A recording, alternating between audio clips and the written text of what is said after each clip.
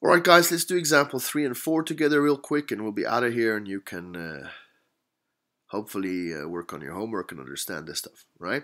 So um, we want to talk about exponential decay models, models that people have figured out uh, from doing lots of regressions that uh, this is the way decay functions work, and so we can take advantage of their work and use a formula to come up with uh, a real life situation problem solution. Again, amazing that math is able to give us models like these that we can use to make predictions and see what goes on in the real world based on abstract objects like numbers and mathematics. Okay, really, really amazing. And so, in any case, um, remember this will be given to you. All right, we will give this formula to you. Memorizing a bunch of formulas not too important. This is not too important for you to memorize at least. Uh, just remember we've we've done over the, we've gone over this before. Uh, a would be the initial amount, so this a value is the initial amount.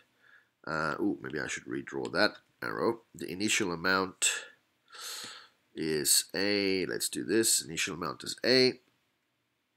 All right, and R is the percent decrease. R is the percent decrease. R is the percent decrease.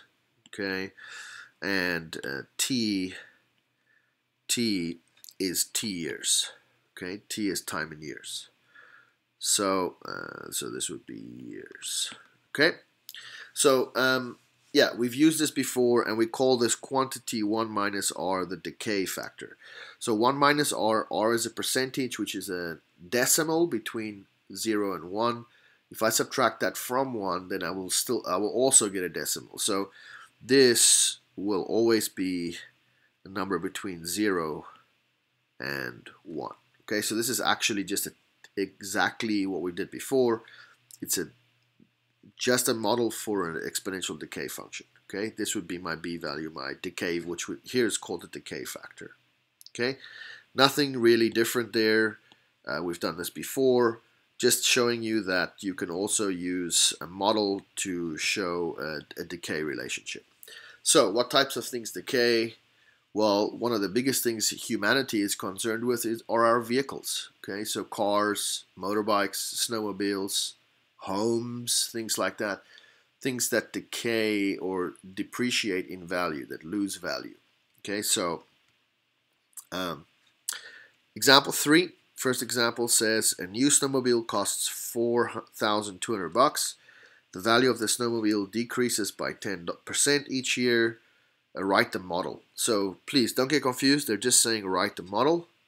So this says write the model. Okay. And then it says estimate the value after three years. Two separate questions there. Okay. Before we go there, so we can write down the model from here. Let's write it down. y equals a times 1 minus r to the t. All right. So that tells us that this is a good model to show how the value of the snowmobile will decrease. All right.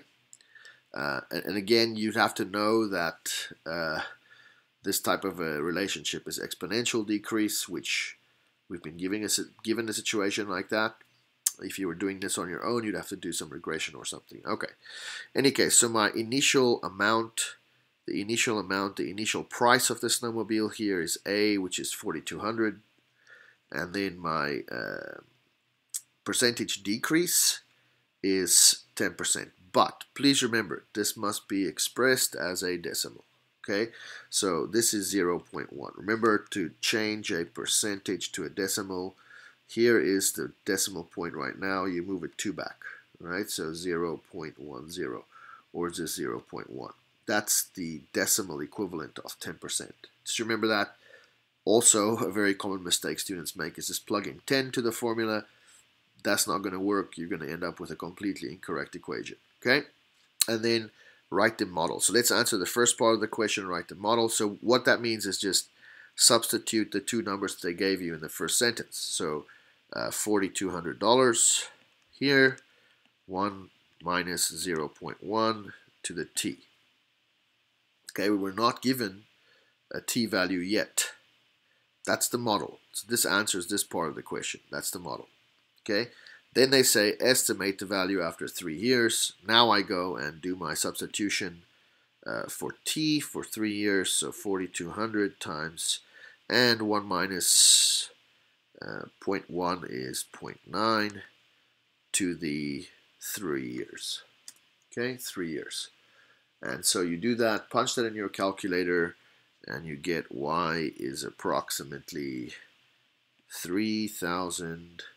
$3,061.80. Uh, let me just say, you should probably clean this up and write the model like this from the get-go, okay? Uh, both will work, but uh, it's maybe just cleaner for you to see what you're doing. So, please remember, this is the answer to the first question. This is the model, okay? And then this is the answer to the second question. Uh, this is the value after three years. The value after three years. Okay?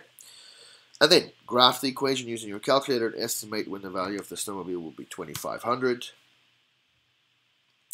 So you plug this in to your calculator. This function right here, plug the model into your calculator. y equals 4200 times 0.9 to the t.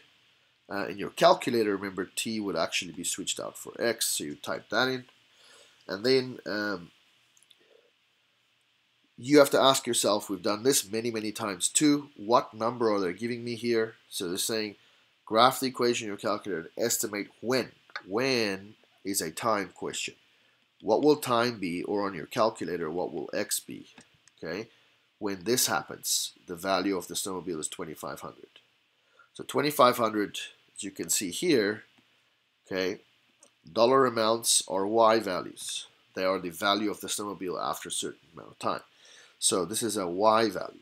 So in your calculator, you're graphing this function, and then you're graphing y equals 2500, and you want to find the intersection. I would try something like zoom fit. Zoom fit typically works well and if you find the intersection between this function and the model, then or this line and the model, you get an answer that is x, which is t, is about 4.9 years. Okay, about 4.9 years. All right, um, so that's example three. Again, you're given a model, you just plug stuff in and you use it. Right? This is just showing you how useful math is to solve real world problems.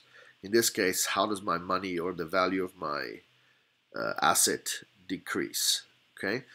Uh, in this case, this is a rather uh, controversial example. Um, and I think what I'll do here is, I'm not going to do example 4 with you here. Um, I think this is a very, very similar idea. You, you're given a model and they're asking you plug in a number. Actually, this is maybe even easier than the one we were given before. Um, so all you have to do here is uh, solve this model for a certain number. Uh, so what I think I included here for you is a picture, and I'm not sure if this is in your textbook or if this is in the AP Bio textbook or in the biology textbook any case, uh, I'll read it with you, but then we really need to think about this. Okay, there's something going on here that's a little bit deceptive. And uh, in my statistics textbook, they talk about this very clearly. Statisticians are afraid of situations like this. In algebra, they're just using it to show you a principle, and they kind of gloss over an important problem with this question. Uh, I guess let me let me do this part A with you, and part B I will go over with you in class. Okay. So uh, part A, when an animal, plant or animal dies, it stops acquiring carbon-14 from the atmosphere. Carbon-14 decays over time with a half-life of about 5,730 years. The percent P of the original amount of carbon-14 that remains in a sample after T years is given by this. Okay, so they've done all the work for you here. They're saying uh, half-life is 5,730 years. Uh, T here is year, measured in years, time in years, okay? And then P is the percent of original carbon that remains, okay? So percent of remaining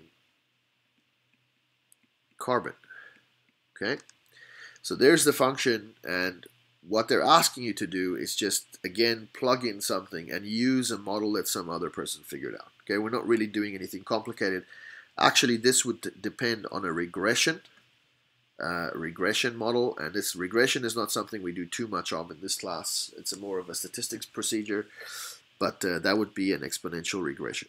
Okay, so what percent of the original carbon-14 remains after 2,500 years? So I don't have to really think here. I'm just saying, oh, they gave me a t and plug it into the function. So percent is 100% times the decay factor, which is 1 half, and then instead of t, I just plug in 2500 over 5730. All right?